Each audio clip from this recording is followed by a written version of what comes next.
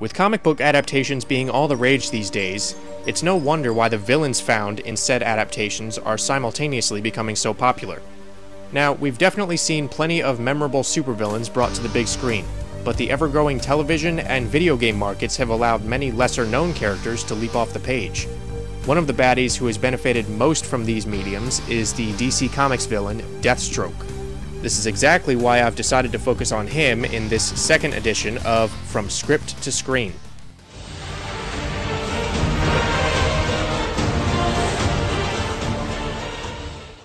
Originally created by Marv Wolfman and George Perez, Deathstroke first appeared in the New Teen Titans comic book series in 1980.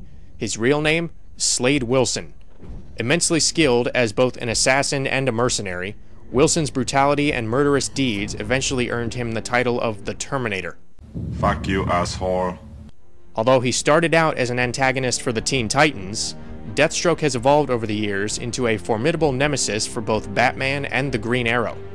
Now, since I don't want this video to be about half an hour long, I obviously can't go into great detail about every single interpretation of this character. However, that might actually prove to be a blessing in some cases. For instance, I don't particularly care for the version in Lois and Clark The New Adventures of Superman, in which he had magnetic powers, or the rendition from Smallville, which made him out to be a thuggish old man. In all honesty, the first time that they got it right was in the Teen Titans animated series from 2003. Here, he's known by his first name, Slade. They apparently thought that Deathstroke was too intense for younger viewers. Yeah, because nothing else in this show was the least bit questionable. Anyway, Slade is a criminal mastermind. Instead of assassinating targets and fulfilling contracts, he commands other villains and concocts schemes to take over the city. Stay with me. While this straightforward and cliched objective may seem unfaithful to the source material, it actually works surprisingly well, to the point where he is easily the best villain in the show. They obviously play up his talents of manipulation and perception, but they do so without sacrificing the essence of the character. He's not at all shy about taking matters into his own hands. But what truly makes him memorable is the fact that he always knows exactly which buttons to push to get under his opponent's skin.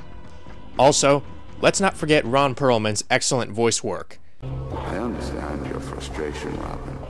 You hate losing as much as I do. One of the many qualities we have in common. He's cold, he's calculating, and he nearly always maintains his composure, speaking in that chilling monotone. I won't stop. Not now, not ever. I am the thing that keeps you up at night. The evil that haunts every dark corner of your mind. I will never rest. And neither will you. My friends say you're not real. I'm very real.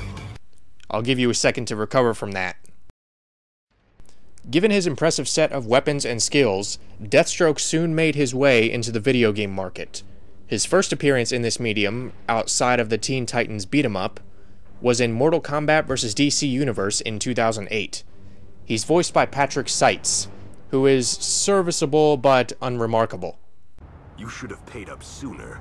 You'd still have a head. He's got the edge and the attitude down, but he sounds a little too young and inexperienced. You don't really feel like he could be the master manipulator. He seems like a hitman and not much more. The company's successor, NetherRealm Studios, was more on target with Injustice Gods Among Us in 2013. Here, the Deathstroke from an alternate dimension works with our world's heroes to stop a totalitarian version of Superman.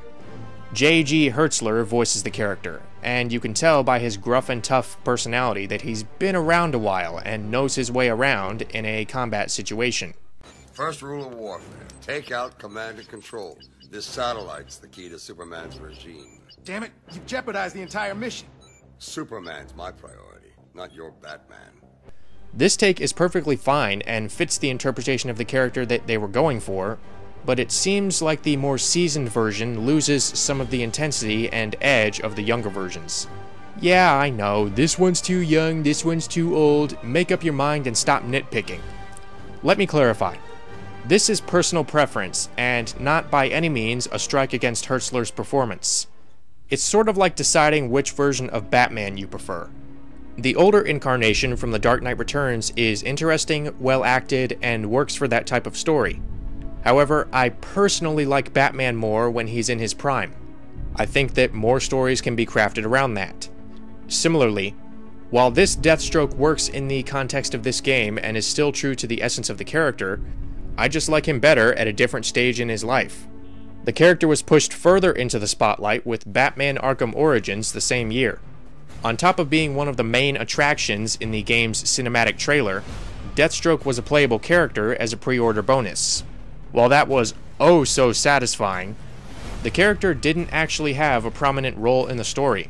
When Black Mask puts a bounty on Batman's head, Deathstroke is one of the eight world class assassins who try and collect. That sounds fun, right? In reality, you fight him once and he's out of the picture. At least Mark Rolston makes the most of what little he's given in voicing the character. His interpretation is very relaxed and sarcastic.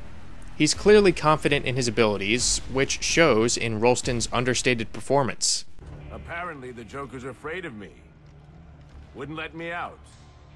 And for good reason. I don't like having my time wasted. You should have known trying to kill me was a waste of your time. Well, you won't have to worry about that anymore. Not unless someone else puts up 50 million bucks.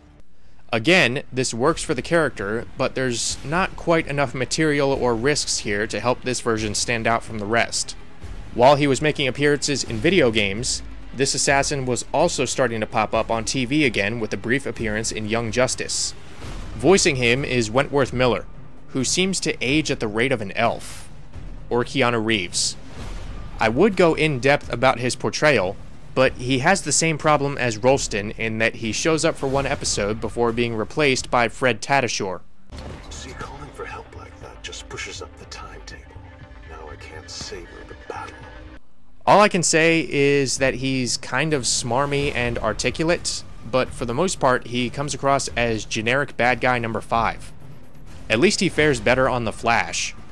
Speaking of TV stars, Thomas Gibson of Criminal Minds fame voices the character in the animated movie Son of Batman. Now, I'm not exactly familiar with Gibson as an actor since I don't watch Criminal Minds, but I do know this. He is distractingly miscast as this character.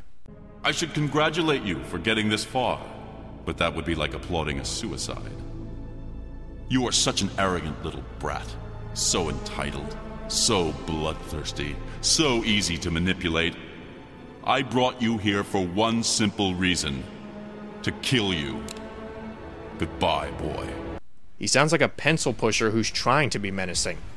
It seems like they were trying to go for the same articulated and chilling type of voice that Ron Perlman utilized, but it just doesn't work. I suppose part of that can be attributed to the way the character was written. In this story, Deathstroke comes off as a bully who tries to off a little kid because he wanted to be in the League of Assassins.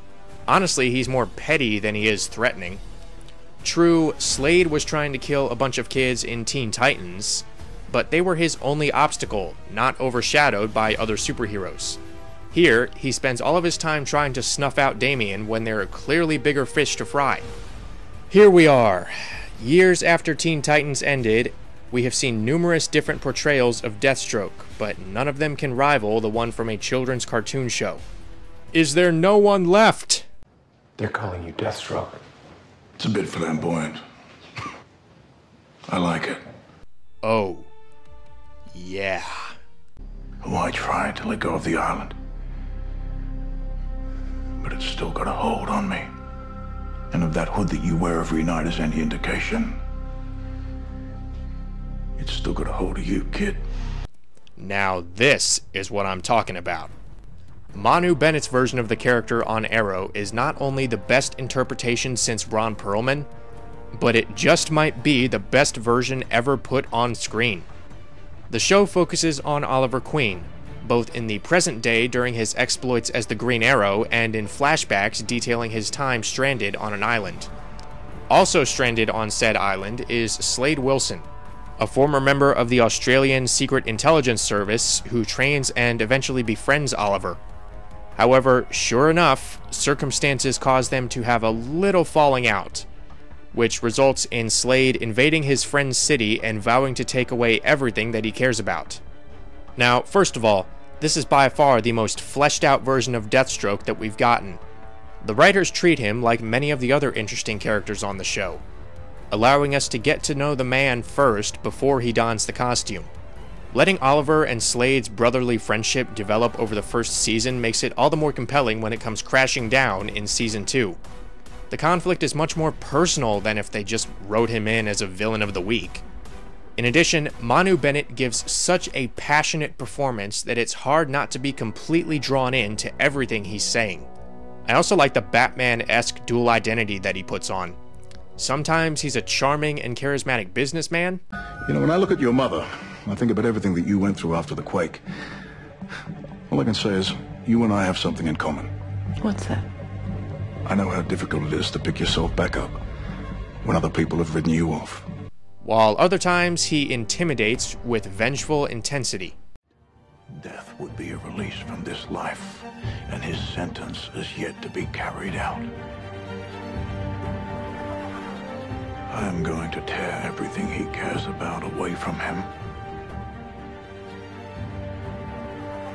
Destroy those who choose to follow him. corrupt those he loves. Once he has lost everyone and everything he values, I will drive an arrow through his eye. Not only is Deathstroke the best and most frightening villain this show has had thus far, which is saying something, but he's my favorite character in the series. You might be wondering, do I prefer the Teen Titans version or the Arrow version? Honestly, I just can't pick one. Comparing Ron Perlman to Manu Bennett is like trying to choose between Mark Hamill's traditional Joker. No, what the heck, I'll laugh anyway. and Heath Ledger's unhinged anarchist Joker. Introduce a little anarchy. Upset the established order, and everything becomes chaos. I'm an agent of chaos. Both renditions are radically different from one another, but they're each perfect in their own way. That's generally how I feel about these two interpretations. Instead of worrying about which one is better, I'm just glad that we have both of them to enjoy.